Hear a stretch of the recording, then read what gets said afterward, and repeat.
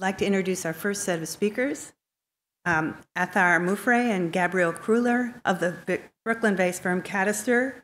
Athar received her B.Arch from Birzeit University in the West Bank of Palestine and a master's in integrated urbanism and sustainable design from Stuttgart University. Gabriel received a B.Arch from Carnegie Mellon and an advanced Master of Architecture degree from the Berlage Institute. In 2017, Cadaster won the Rethinking Our Rivers International Urban Planning Competition, Quebec City, and in 2016, the first prize in the Twin Creeks Linear Park Design Competition in Kansas City. The jury noted that their design approach was rooted in deep research, appreciating the clarity of how Cadaster approached questions of land, of what sits under architecture, and the politics of what underwrites architecture or as described by the firm in an excerpt from their portfolio text, architecture exists objectively inasmuch as it is connected physically, legally, politically, socially, economically, ecologically, conceptually, geographically, historically to a surrounding context. Without this situating network, it is peripheral to reality. This objective of practicing architecture is to take on this mess, to trigger, tune, and transpose the web of relations that give meaning to space and physical condition.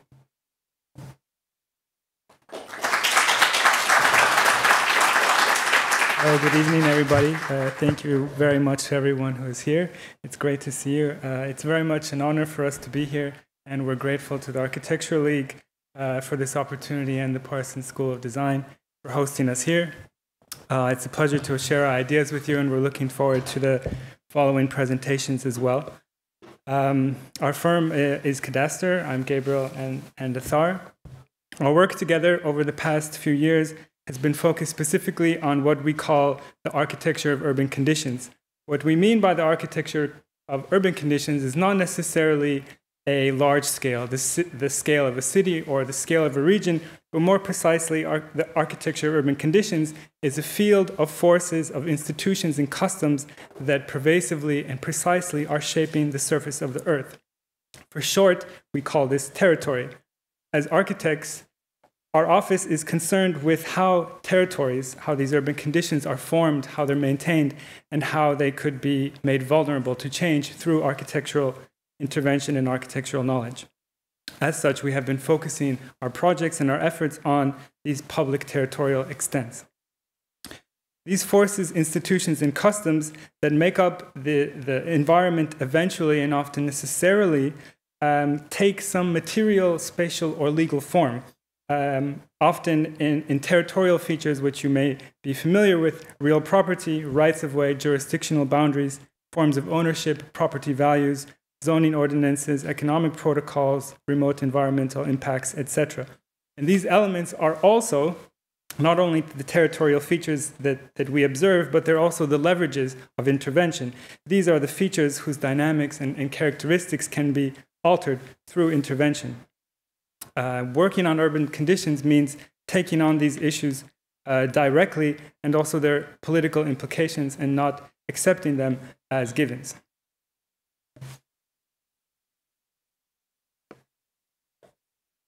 Uh, as, as our understanding uh, of the built environment, um, it consists not just of buildings but and the space outside of buildings, but of uh, the relationship between the elements of the territory.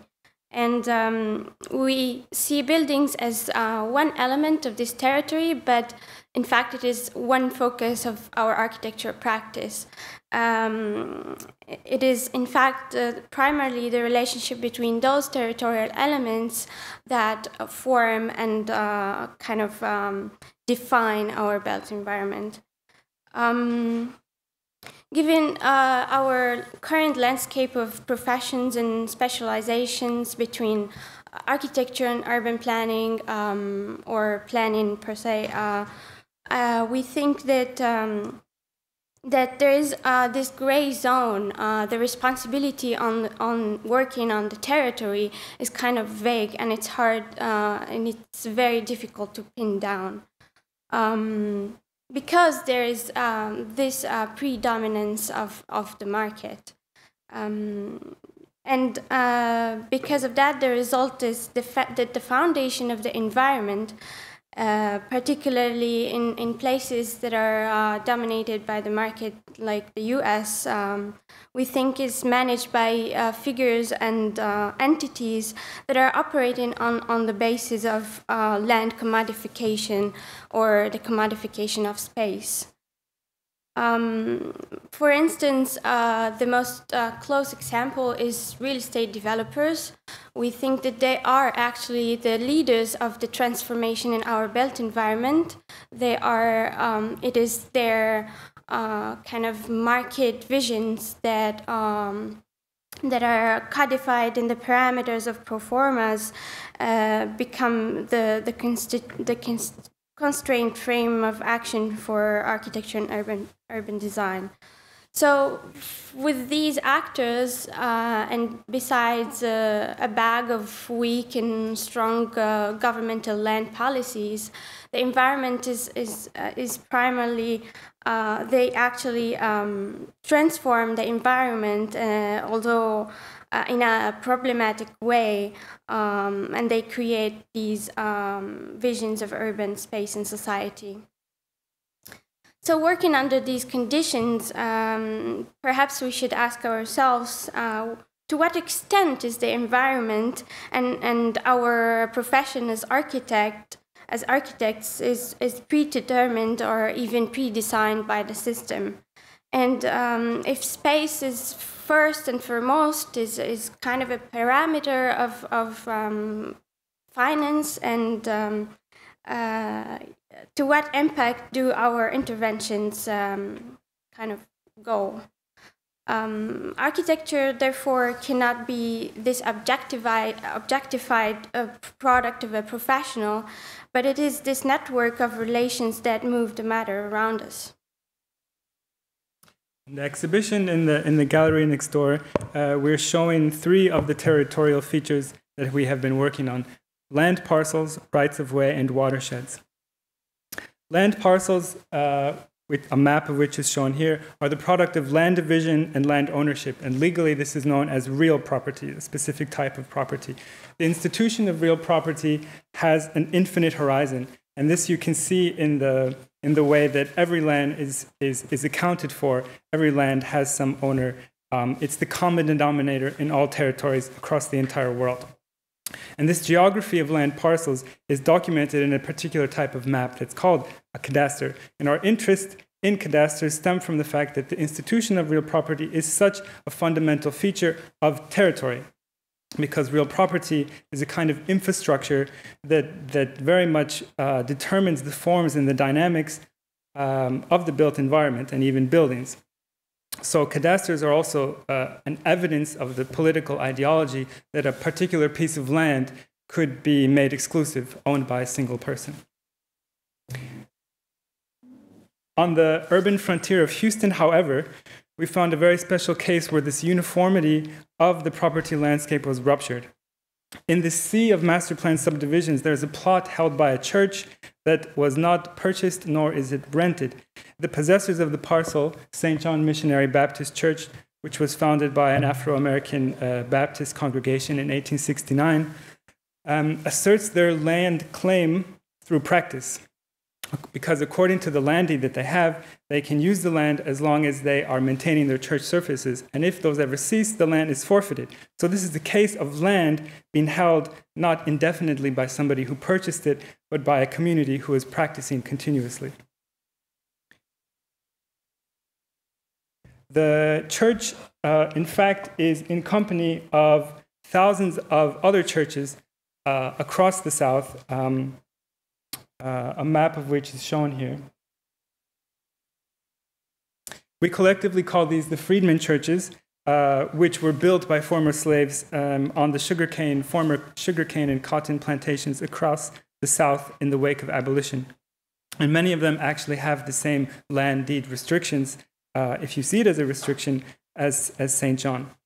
We started this project in 2012 uh, when we approached the congregation of St. John uh, when we were curious to learn about their building because they had just uh, survived an arson that burned down half the, half the building. Um, and working with the church since that, since that time has been very rewarding. um, and challenging. The, the, historic building is in, is in very poor condition, and the church has had a decrease in membership over the past decades.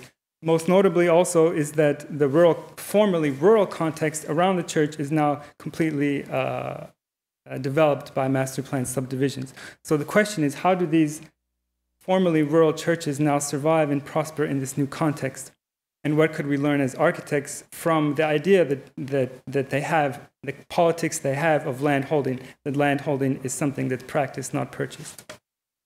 Together with the congregation, you can see here the, the kind of work that we did together with them in the field to, to come up with the idea. Our objective was to develop a project that would um, help the church assert their land claim. As such, the project, which is ongoing, uh, works primarily on the design of the site more than the building, emphasizing and tuning the surface of the property as a way to promote engagement with the broader uh, surroundings. One of the major features is a large field, the grounds of which uh, are the, the, for the church's annual homecoming event. Uh, the building we suggested to, to shift slightly closer to the street so that its large front porch uh, would open up to the sidewalk. And perhaps the, the, the, most significant feature that, that we worked on and discussed with them um, was actually uh, following the square perimeter of the parcel.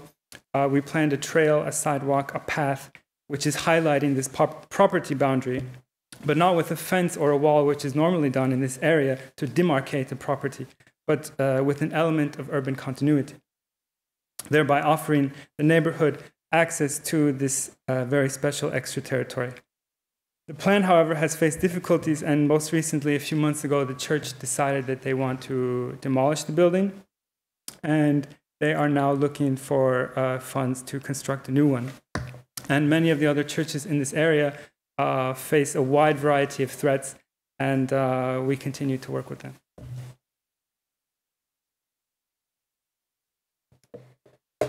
So beside the beside parcels or real property, another element of the territory which we have been working on is the watershed. The watersheds are these natural um, kind of um, rooms, hydrological rooms that are shaped by ge the geography of a place and uh, the flow of water as well. Um, so these watersheds are important not just for the quality, the environmental quality, but for um, structuring the urban area around them. And uh, in a project uh, north of Kansas City, uh, which we um, uh, uh, did um, last year, the water we used the watershed as um, as a structure to um, to help the develop uh, construct the, new development in the area.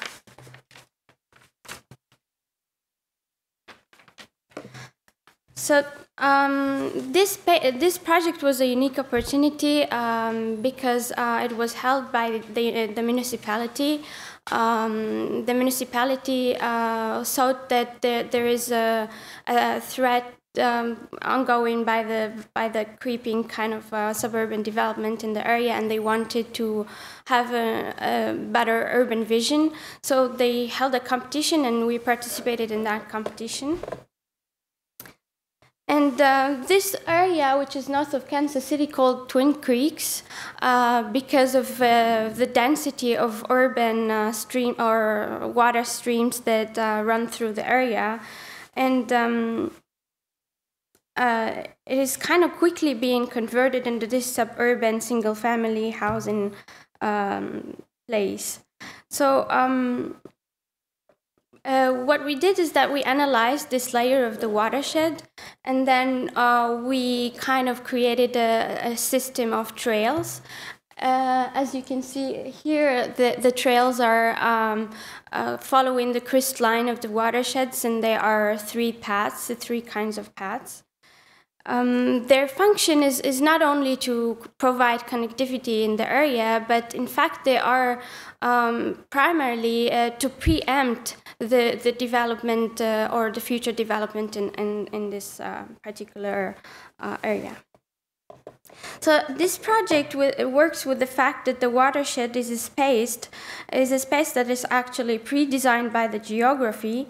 The proposed uh, trail network is a straightforward gesture that can be implemented by the planning department, and uh, it is also uh, a, a, recreation and mobility uh, place, or it, it is a multifunction. Uh, uh, it has a multifunction. Um, purpose, and most importantly, it is an organized and urban structure over time.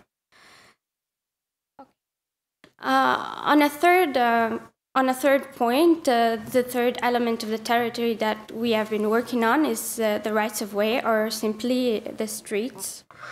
So historically, the rights of way is the right for someone to pass through uh, others' private property uh, along a specific path. And um, transportation nowadays, uh, or the transportation infrastructure, is, is probably the uh, one of the most dominant um, structures in our urban conditions.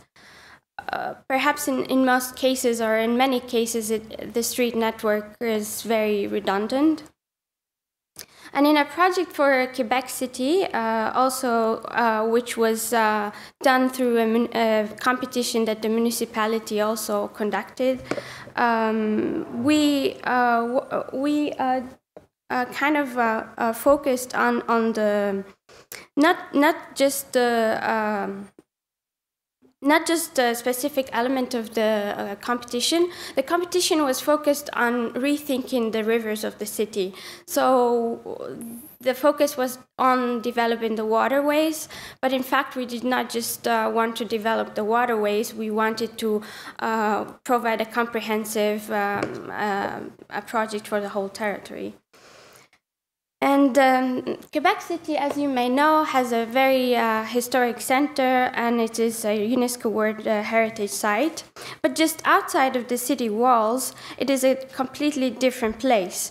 The sprawling metropolitan area has one of the highest uh, er, um, value of uh, road kilometers per capita in North America. And the street is primarily focused uh, or centered around its highways. And our observation uh, was that the proliferation of private residential properties and a redundant road network created the conditions in which actually the waterways became uh, virtually disconnected from their surroundings. So in, in this case, we also looked at the urban history or uh, the colonial history of the place, and we specifically looked at the property system from the French era, and uh, uh, particularly this system is called the long lot.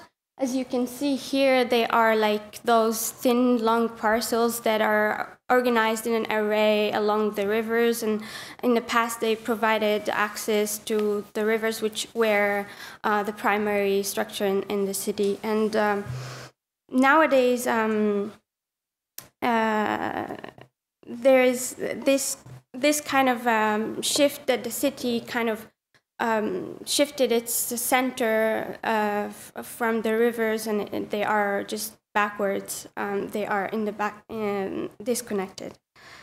And uh, with these issues in mind, we saw that the opportunity to, re to refocus the urban hierarchy and improve the water quality and provide new forms of access in civic space. Uh, using GIS or geoprocessing tools to analyze the street network, we uh, found that many of these roads are redundant and they could be removed without uh, making any um, influence on the traffic flow, shown in the dashed line as you see here. Um, so we therefore came with the idea that uh, by reintroducing the, the long lot uh, as a territorial protocol in the city, um, uh, which you see in, in black lines ac across the rivers. This is um, what we call the headwater lot. Um, these are um, to these are a way to retrofit the city with a network of prominent multi-purpose spaces. They are not uh, used to link only the, the the river with the neighborhoods. Um, but they are also um, used uh, as a multi-functional place for recreation, cultivation, and other things. So, in fact, um, we saw this a very good option for the municipality, and it was um, a, an easy proposal, kind of to to start implementing um, because uh, the streets are already there. They are uh, public property. The, the, municipality could just uh, repurpose them and without having to um, expropriate private property uh, on the river they can make a huge transformation on a large scale.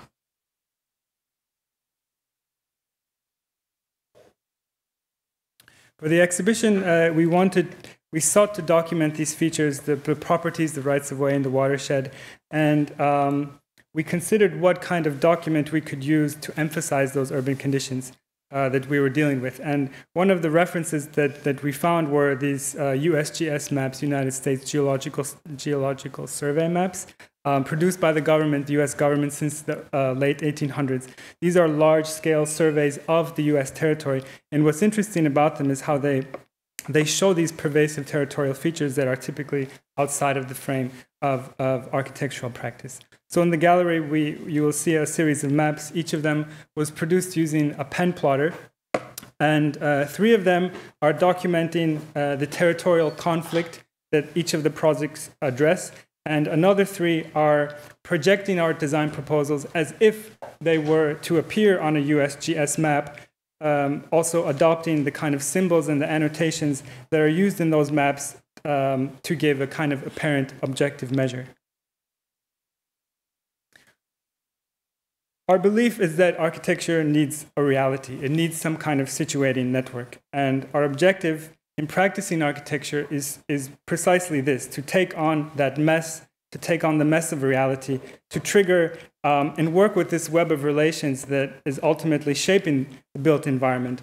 So our objective um, is, is about taking a position, a political position, in relation to a given context, and then determining what, given that position, architecture can do there. Thank you.